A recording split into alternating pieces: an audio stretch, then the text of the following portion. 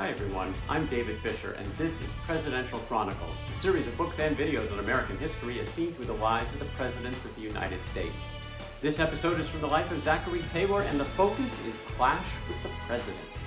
The year is 1846, and Taylor is fresh off of his first victories in the Mexican American War, victories at Palo Alto and Resaca de la Palma. He was promoted to a major general, and talk of presidency is in the air for Zachary Taylor, which he wanted nothing to do with. In fact, he was frustrated with this task at hand. He wanted to go chase the Mexican army further, but he lacked supplies, insufficient transportation. He had to wait to resupply before he could be ready to go.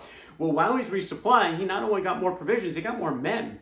Lots of volunteers started showing up after the first couple of victories, and his force had swelled to about 11,000. Although a lot of volunteer militia, frankly, were more trouble than they were worth. Taylor had never been a big fan of the militia, and he certainly wasn't a fan of a lot of the folks who showed up, who were undisciplined, not really trained in the arts of war. Nevertheless, he did bring them into his camp. He did welcome one person in particular, a volunteer, a colonel from the state of Mississippi. His former son, son-in-law, Jefferson Davis, showed up and actually would become part of Taylor's inner circle for the rest of this campaign. When he was finally fully supplied, he took his men across the Rio Grande on July 6th into Mexican territory. His destination was the fortress town of Monterrey. It was about 350 miles away. They actually had to stop about halfway in at Camargo. This was a tough trip the sun was bearing down on them. There's only one road. And once again, they didn't have enough supply or transportation to get all the way in, in one trip. And so they had to pause at Camargo, resupply, finally get to Monterrey in late September. This was going to be a tough fight. Monterrey was the capital of the Mexican state of Nuevo Leon. It had about 12,000 inhabitants. General Pedro de Ampudia was in charge of the Mexican force there with about 10,000 soldiers mostly regulars. He had about 42 cannon uh, at his disposal as well, while Taylor brought about 7,000 men into the fight with only about a dozen pieces of artillery. The town was in essence one giant fortress. The houses were made of stone. There were natural parapets uh, atop most of them for, for snipers to be able to fire upon the Americans. Each dwelling was practically a separate castle, one grand fortification that the Americans were facing. The first step that General Taylor decided to do before entering the town was actually to try to block the escape of Ampudia. He sent General William Worth around to the other side of town to capture the Saltillo Road, which he did, perfect success, and then they began a two-pronged attack. Worth from one side of town and Taylor from the other step by step, trying to get to the center of town. It was bloody. It was slow against an entrenched foe, against with these natural fortifications. Door to door fighting, every inch was costly for the Americans, but they were undeterred, kept making that progress and unrelenting attack against the Mexicans, pushing him back toward the center of town in the Citadel, which was the center of the community. By September 23rd, Ampudia had actually had enough. He knew it was only a matter of time, and he actually asked for an, an opportunity to discuss terms with General Taylor. There were several back and forths between the commands of, of both armies before they finally did agree to terms, and those terms were pretty liberal.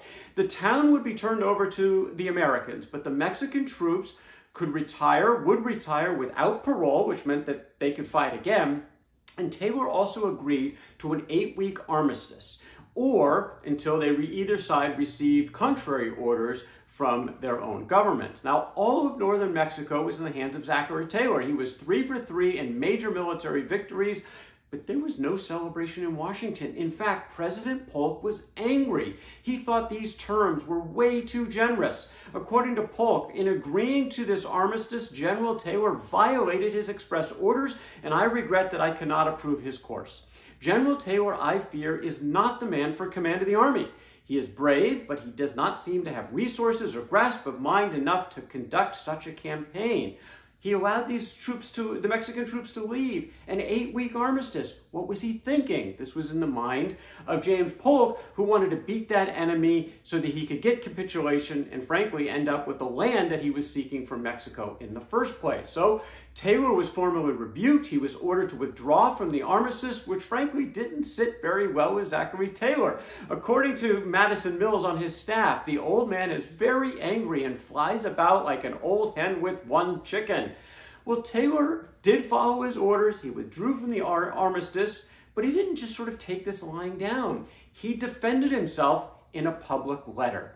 His letter pr- provides the reasoning of why he did what he did. And he said in detail the consideration of humanity was present to my mind during the conference which led to the convention and outweighed in my judgment the doubtful advantages to be gained by a resumption of the attack upon the town.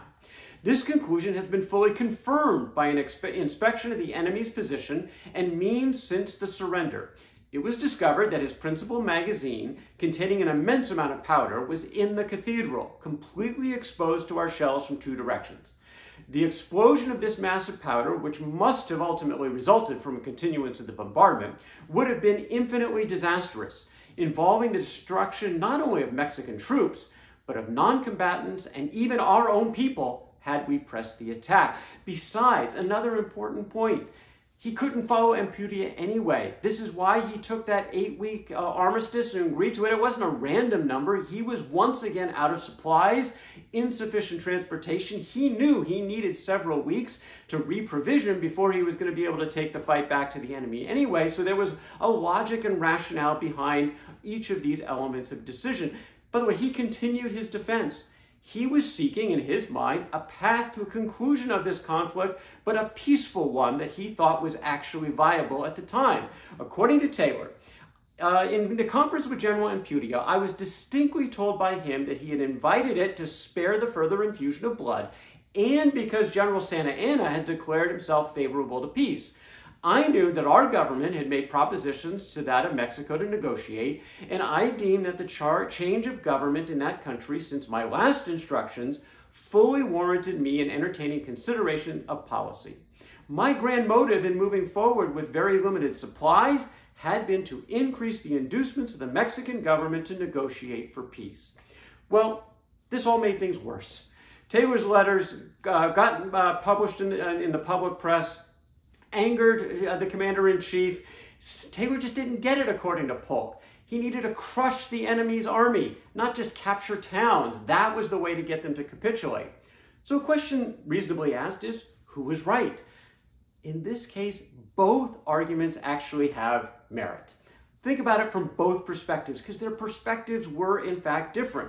Polk, of course, is focusing on the big picture. He wants a win. That's by defeating armies. You don't let them go. You don't have long armistice uh, uh, available to them. Give them a chance to fight another day. You attack them, you kill them, and that drives capitulation. For this, he was angry that Taylor did not follow that line of thinking, which has merit.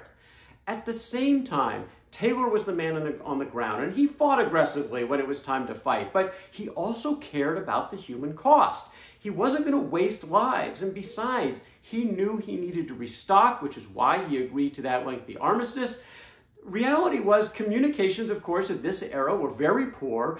Commanders on the ground often had to be given plenty of leeway to make these kinds of decisions. He was well within his authority to do so. And so you can see from Taylor's perspective, full merit to his way of thinking as well. The final say in all of this, even if they both had merit, of course, lands in the commander in chief. Ultimately, the president decides where you go, and when he had the chance to communicate, he was ready to make some changes. In part, in his mind, he couldn't escape the fact that there were political talks in the air about Taylor. This definitely impacted his thinking. He did say, I am now satisfied that General Taylor, he is a narrow minded, bigoted partisan without resources and wholly unqualified for the command he holds. He was frustrated about Taylor's decision. He saw politics in the air, and he, in fact, had every right to make changes, which he was about to do, but that is the story for another day. That is Zachary Taylor and Clash with the President from the life of Zachary Taylor. For more presidential chronicles, check out my books on Amazon.com and don't forget to subscribe to my YouTube channel. Until next time, I'm David Fisher and this is Presidential Chronicles.